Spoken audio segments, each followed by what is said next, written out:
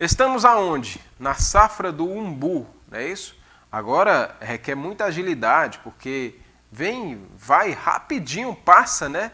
E muitas vezes você vai passar o ano sem chupar pelo menos um umbu. É isso? E esse fruto é muito delicioso, é único aqui do Nordeste. E se você perder essa safra agora, você só vai aproveitar o ano que vem. Mas olha só, nós encontramos aqui no município de Sumé o umbuzeiro localizado no quintal de casa. E segundo o proprietário, o senhor Givanildo, ele garante que o dele, o pé de umbuzeiro lá do quintal da casa dele, produz o fruto aí por oito meses. Dá para acreditar? O Anderson foi lá conferir essa história. Época do umbu e a sua árvore, o umbuzeiro, nesse período se encontra desse jeito cheio da fruta. Né? E aqui no quintal do Gilvan, ele é, é uma pessoa bem beneficiada com isso, né? Tem umbu aqui, muitos umbus, e não é de hoje. Há quanto tempo tem esses pés de umbu aqui? 30, 32 anos atrás, esses pés de umbu já começaram a colocar umbu, a safra anual, né? E até hoje eles Apesar da gente cortar tanto ele para não tomar conta da rua, das casas, a gente tinha que estar tá sempre cortando. Aqui ele se desenvolve bem, coloca o fruto, muitos frutos, né? Umbu, podemos mostrar aqui a quantidade de umbu. E esse aqui tão verde ainda, né? Em cima tem muitos umbus, né? Por que você acha que ele coloca tanto assim, né? A sua produção é tanto? É uma coisa que a gente explica, mas só a natureza sabe realmente né, como fazer, porque eles colocam oito meses do ano, ele coloca um burro. Então não é só nesse período, né? Ele passa a maior parte do ano colocando ele fruto. Começa em novembro e a gente em agosto, julho, agosto, a gente está apanhando um burro aqui. Eu ainda consigo tirar um burro nesses pés. E quem vive aqui, como o Gilvan, né, não precisa né, ir para o sítio para estar dentro da natureza. A natureza está, mesmo aqui na zona urbana, está no quintal da sua casa. É verdade. Muitas vezes eu fico rindo, porque o pessoal do sítio é que vem buscar aqui na, na cidade, né, na rua. Então eu já cheguei até vender um burro porque era demais, não, não vencia, o pessoal apanhava, mas não tinha como é, acabar o embu, a safra assim, escoar a produção. Aí eu já cheguei a vender muitos umbus aqui, muitas caixas. E não é só um umbuzeiro que tem no quintal do Gilvan. Aqui tem outro pé de umbu, né, também da mesma forma, carregado. Ali na frente tem mais outro, ali são três árvores né, que estão em ativa, né? Sempre colocando seu fruto na maior parte do, do ano, oito meses, como você falou. Né? E com a satisfação de ter esse fruto assim na porta da sua casa sempre. Que quiser chupar um bu ou fazer uma umbuzada, tá ali né, nas mãos praticamente. Muito bom. Serve para a gente e para os vizinhos. Os amigos que querem um bu, encomenda, eu tiro. Isso aqui vai para João Pessoa, já foi até para São Paulo pessoal leva Campinas, uma Pessoa. Quem mora em cidade vizinha aqui conhece, na época vem aqui leva os umbus para saborear, como se diz. Né? Você hoje ainda vende umbu ou não parou? Vendo, não, não. Eu, eu chamo o pessoal e não vale a pena, o pessoal compra muito barato eu vendia 40 centavos um quilo de umbu, então não vale a pena nem a gente subir num, num buzeiro para tirar. É muito trabalho, muito aqui, na minha testa. A gente mete a cabeça no buzeiro, rasga o corpo, os braços. Mas chegando um vizinho aqui pedindo ah, um zumbu, vocês também? Já, já deixo já... à vontade. Pra... Olha o chão ali, o jeito que tá. Ali ele chega, apanha, eu digo, pode subir no buzeiro, tirar, só não quero que arranca o fruto verde nem as folhas, né?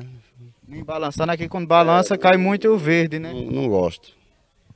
Alguns cuidados, né? Quem tem, é como se fosse um, um, um animal criando em casa, é, ou, ou, ou, até mesmo um filho, né? Tem que, tem que saber cuidar, né? Você sabe como é que tem que preservar, né? Isso é a natureza que faz isso, não é a gente.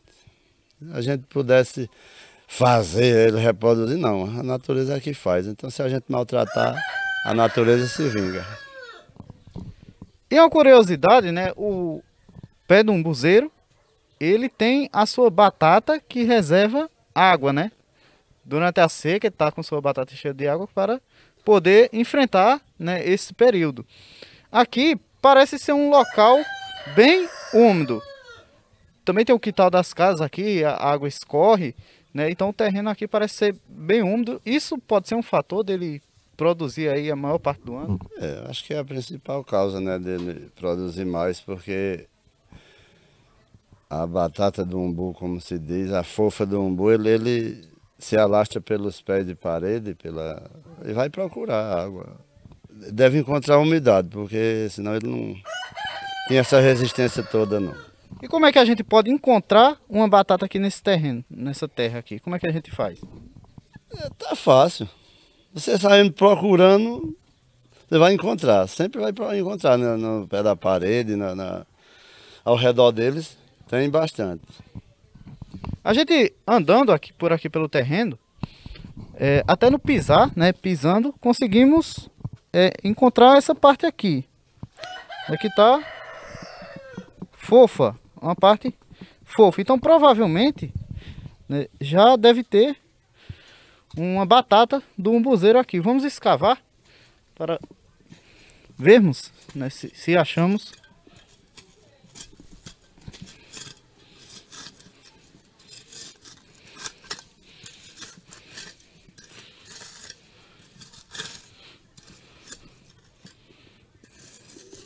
Aqui já está descobrindo. Realmente é uma batata do umbuzeiro. E aqui agora já descoberta a batata do umbuzeiro.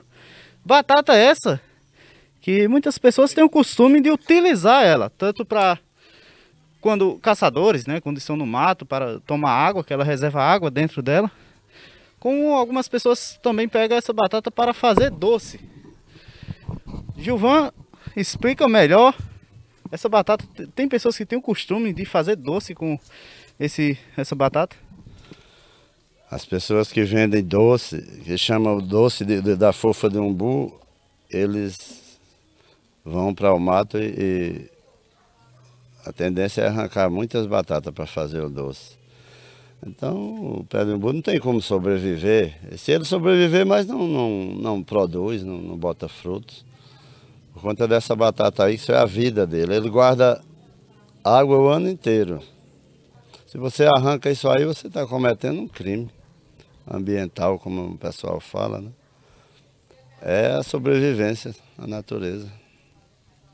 Então, para não prejudicar o pé no buzeiro, vamos deixar ela aí, ela no, no seu ambiente natural. E um buzeiro aí vive para colocar muito mais frutos. Vamos ver se a gente acha um bom fruto aqui do umbuzeiro. Aqui tem esse umbu aqui. Bem grande, né? Tem vários desses, mas no momento tem mais em cima da árvore do que embaixo. O período dos imbus que amadureceram embaixo, né, passou. Agora tá botando mais em cima. E aqui o umbu essa é a fruta tão apreciada pelos nordestinos e caririzeiros.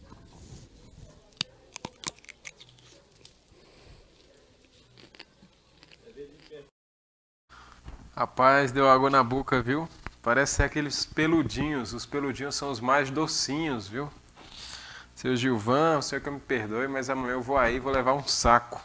Pode esperar por mim aí, certo?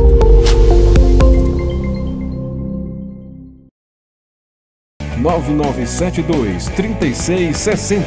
Quer mais peso na sua construção? Procure a Lajex.